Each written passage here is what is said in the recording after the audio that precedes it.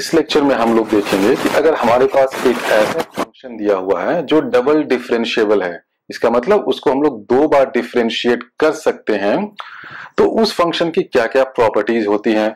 सबसे पहले एक बहुत ही सिंपल फ़ंक्शन लेते हैं जो दो बार डिफरेंशियबल है। और वो फ़ंक्शन होता है मेरा स्ट्रेट लाइन का function f x is equal to a x plus b और ये क्या है? एक स्ट्रेट लाइन होता है। सेकेंड टाइम डिफ्रेंशिएट करने में क्या होगा? F double prime x is equal to zero यानी कि ये जो मेरा फ़ंक्शन है f x is equal to a x plus b ये इसको हम लोग दो बार डिफ्रेंशिएट कर सकते हैं और इसका डबल डिफरेंशियल क्या होता है? वो ज़ीरो होता है। तो ये मेरा straight line f x is equal to a x plus b का ग्राफ हो गया। और हम देख रहे हैं कि ये f x is equal to a x plus b जो फ़ंक्शन है, इसका double differential is equal to zero होता है।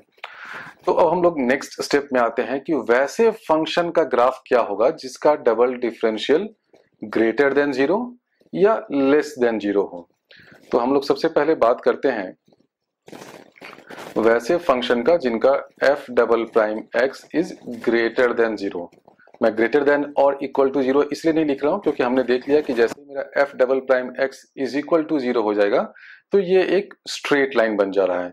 तो अब मैं वैसे केसेस को देख रहा हूँ जिसमें f double prime x is greater than zero f double prime x greater than zero इसका मतलब क्या है? कि जो f प्राइम x है, f प्राइम x क्या होता है? स्लोप ऑफ़ द कर्व वो क्या होगा? इंक्रीजिंग फ़ंक्शन होगा। ये हमने पिछले लेक्चर्स में देखा था कि कोई भी फ़ंक्शन अगर उसका डेरिवेटिव ग्रेटर देन ज़ीरो हो तो वो इंक्रीजिंग फ़ंक्शन होता है।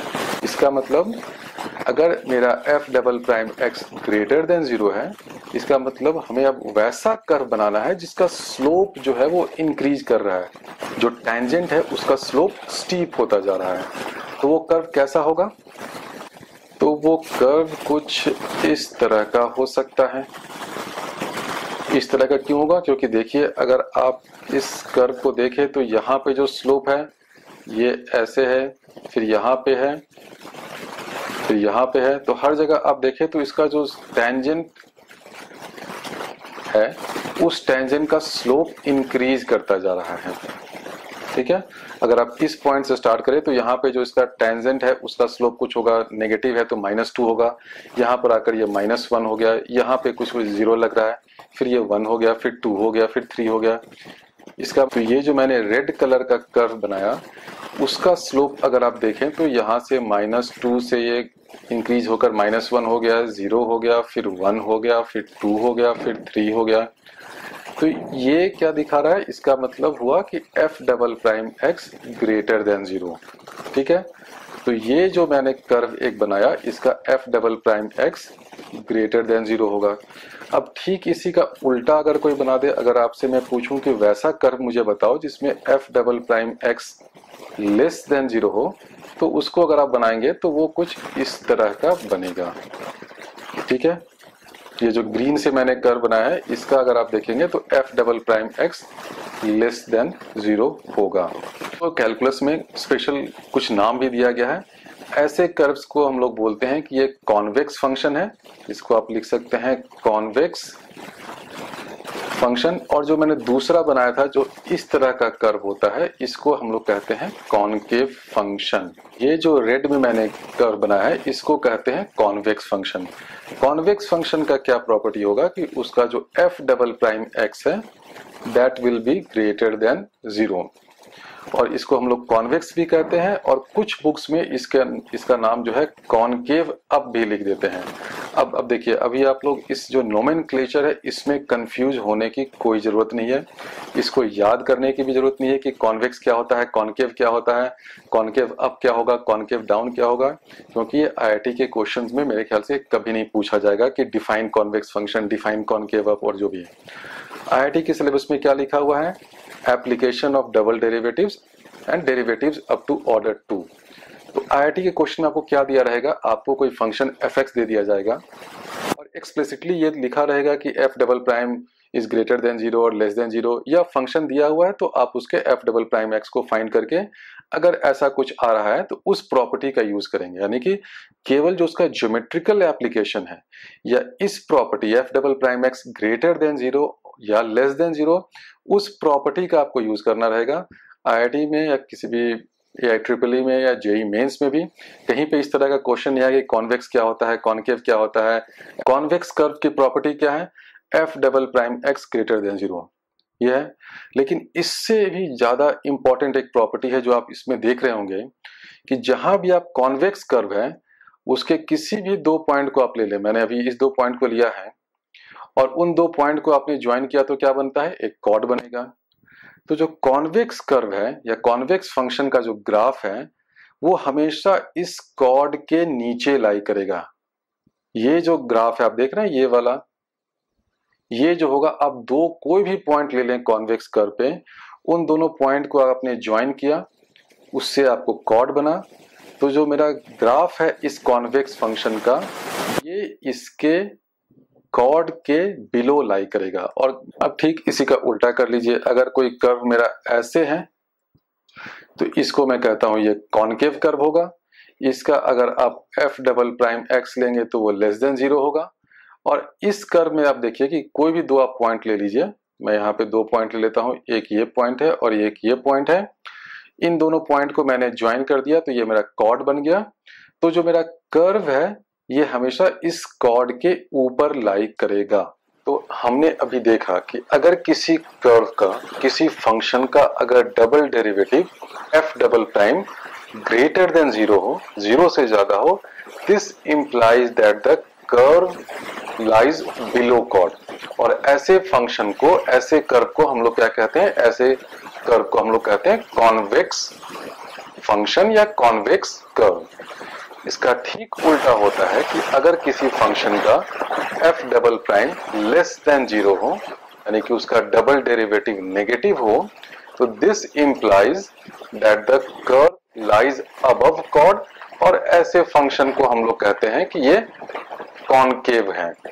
तो ये कॉन्वेक्स और कॉनकेव ये टर्मिनोलॉजी याद करने की उतनी ज़रूरत नहीं है। क्योंकि एग्ज़ाम में क्या दिया रहेगा? आपको कोई एक फ़ंक्शन दिया रहेगा एफ़ और ये दिया रहा कि उसका double derivative greater than zero है या लेस देन ज़ीरो है, या कोई फ़ंक्शन दिया रहेगा और आप उसको फाइंड करेंगे उसके डबल डेरिवेटिव को तो आप देखेंगे कि ये ग्रेटर देन ज़ीरो या लेस देन ज़ीरो आ रहा है। तो उसके बाद आप इस प्रॉपर्टी का यूज़ कर सकते हैं और इस प्रॉपर्टी इस ज्योमेट्रिकल प्रॉपर्टी का यूज़ करके आप कई सारे क्वेश्चंस को सॉल्व कर सकते हैं। तो इस प्रॉपर्टी को हमेशा ध्यान में रखिए कि अगर उसका डबल डेरिवेटिव पॉजिटिव है वो कर्व कैसा बनेगा?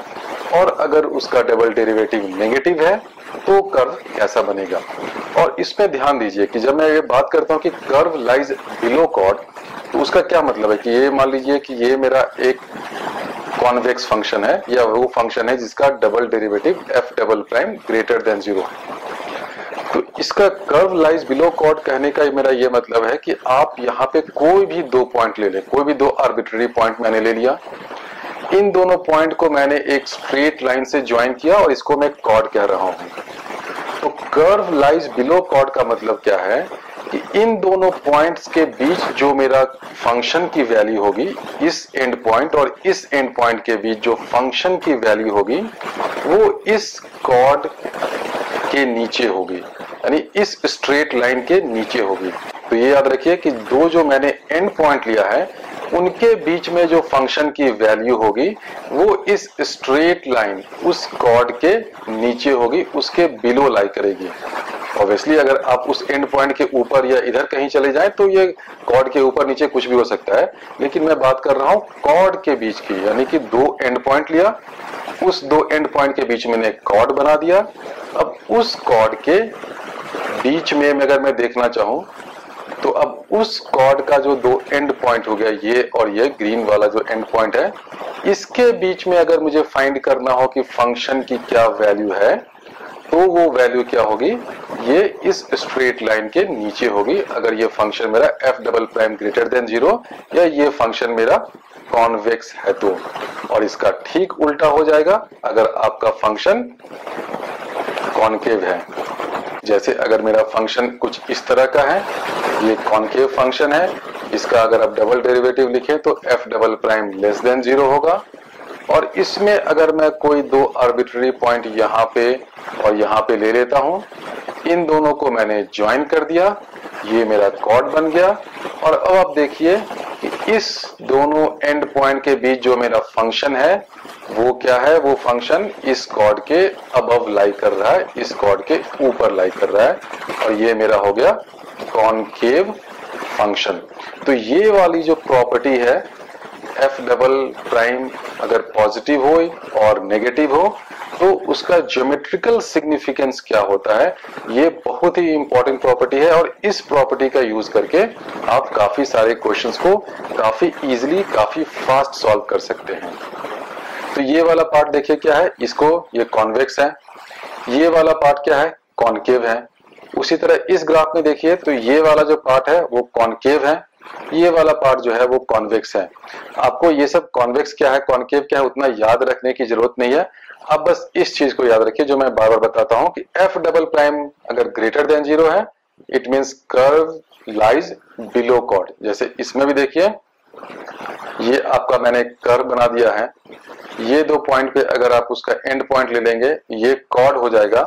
तो ये जो है वो कर्व आपका इस दो एंड पॉइंट के बीच में जो कर्व है, जो फ़ंक्शन है, वो it will lie below curve और ऐसे को हम लोग कहते हैं कॉन्वेक्स और उसी तरह ठीक उल्टा है कि if f prime is less than zero this implies curve lies above cot जैसे इस वाले फ़ंक्शन में, और ऐसे को हम लोग कहते हैं कॉनकेव और कॉन्वेक्स और कॉनकेव को अगर आप फ़िज़िकल टर्म्स में अगर समझना चाहें तो क्या होता है?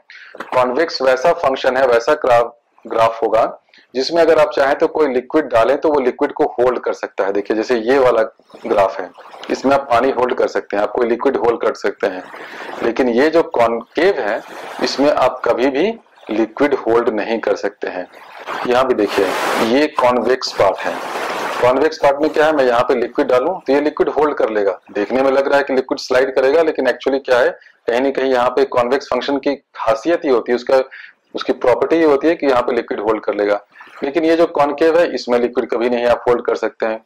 सिमिलरली ये मेरा कॉन्वेक्स है, इसमें लिक्विड होल्ड कर सकते हैं। और ये कॉन्केव है तो इसमें लिक्विड कभी नहीं होल्ड कर सकते हैं। ये जो कर्व है, ये क्या है? ये कॉन्वेक्स कर्व है या कॉन्केव अब इसको नाम देते हैं। इसमें आप लिक्विड डाल सकते हैं। इसका उल्टा जो है, ये कॉन्केव कर्व है, इसमें आप लिक्विड नहीं होल्ड कर सकते हैं। और इसका स्लोप देखिए, ये स्लोप है, ये इंक्रीज करता जा रहा है।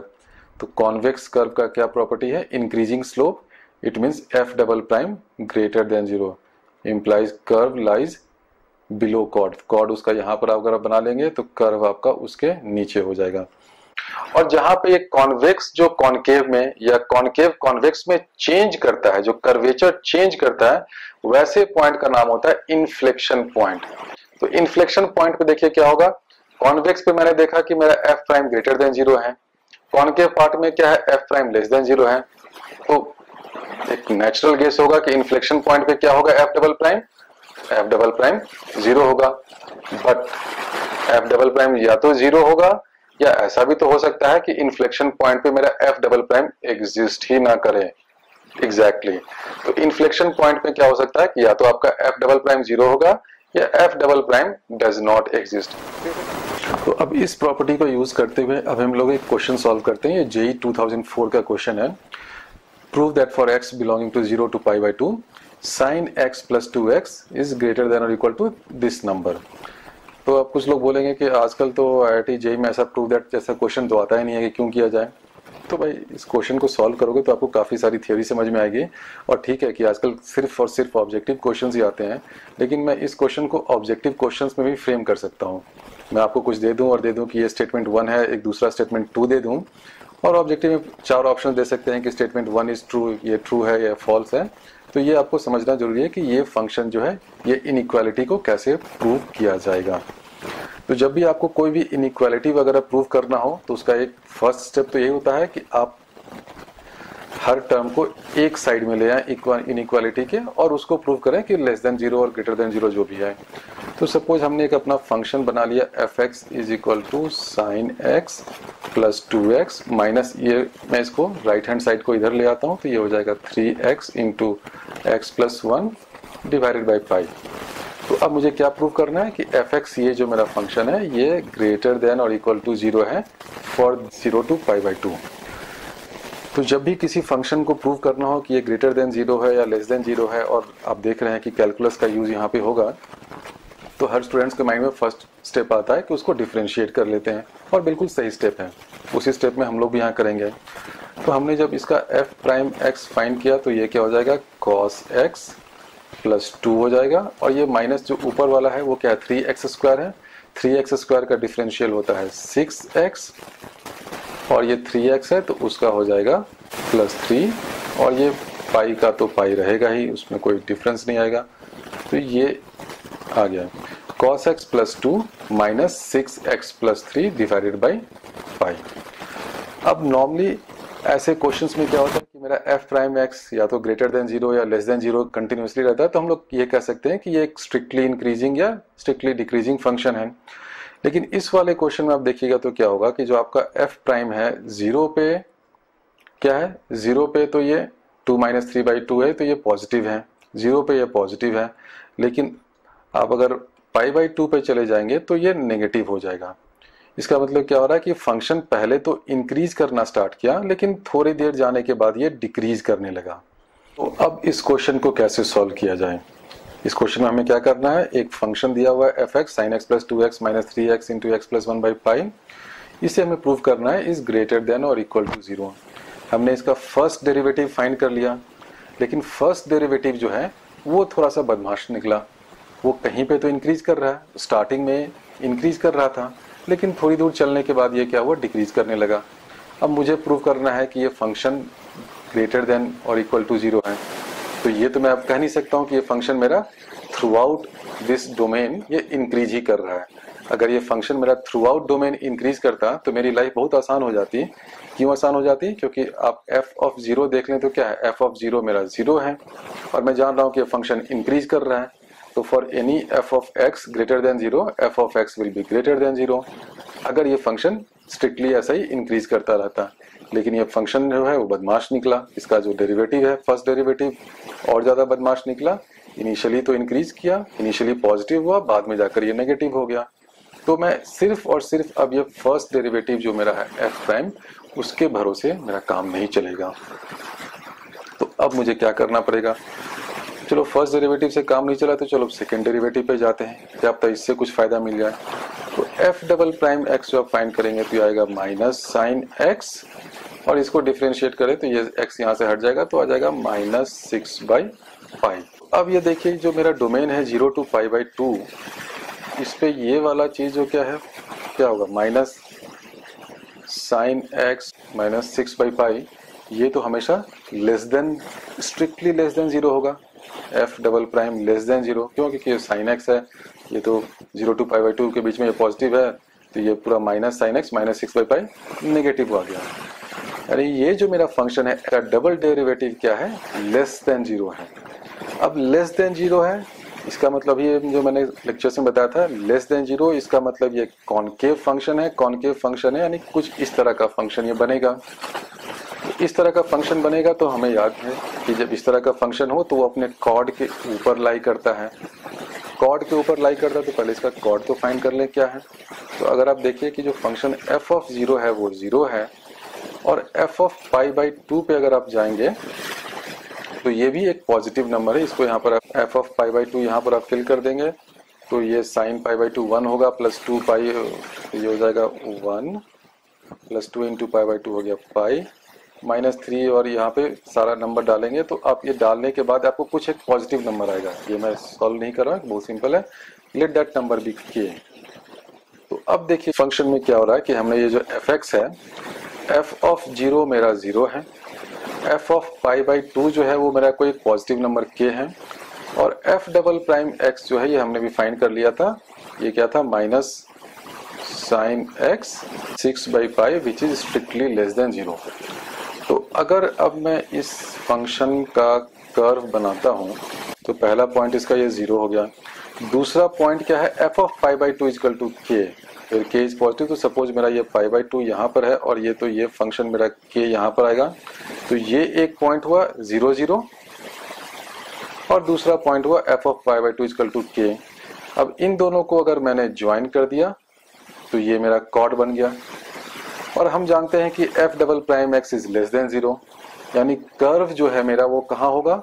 इस कॉर्ड के ऊपर होना है। तो कर्व है मेरा वो ऐसे बनेगा। इस कॉर्ड के ऊपर लाई करेगा। कॉर्ड के ऊपर लाई करेगा, इसका मतलब एफ़ एक्स जो है वो ज़ीरो से तो ऊपर होना ही है, क्योंकि जो मेरा कॉर्ड है वो देखिए क्या है। अगर मैं इस कॉर्ड का इक्वेशन लिखूं तो उसका इक्वेशन क्या हो जाएगा? Y is equal to k into x divided by pi by two क्यों? क्योंकि इसका स्लोप क्या है? ये पॉइंट के पर है। ये पॉइंट मेरा है पाई बाई टू और के तो इसका स्लोप हो गया k divide by pi by two into x तो ये मेरा कॉर्ड का इक्वेशन हो गया।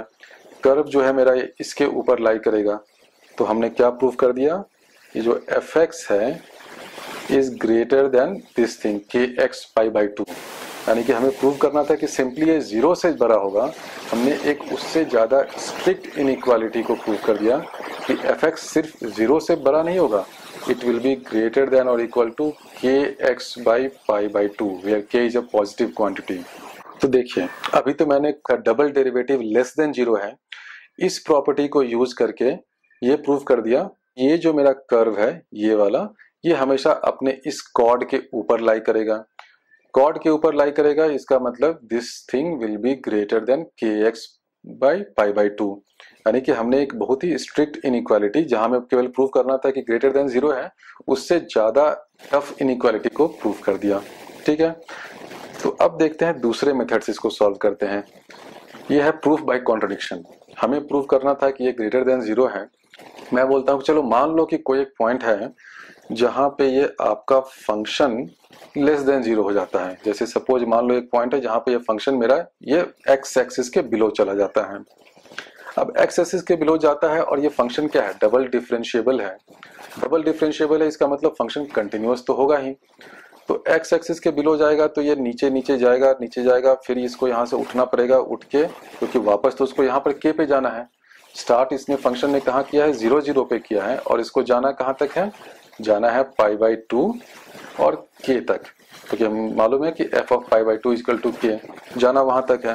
तो कहीं से भी नीचे जाएगा नीचे जाएगा, फिर उठते हुए उसको वापस यहाँ तो जाना ही पड़ेगा। तो नीचे कहीं भी वो जा रहा है अल्टीमेटली उसका कहीं ना कहीं तो एक जगह मिनिमम होगा।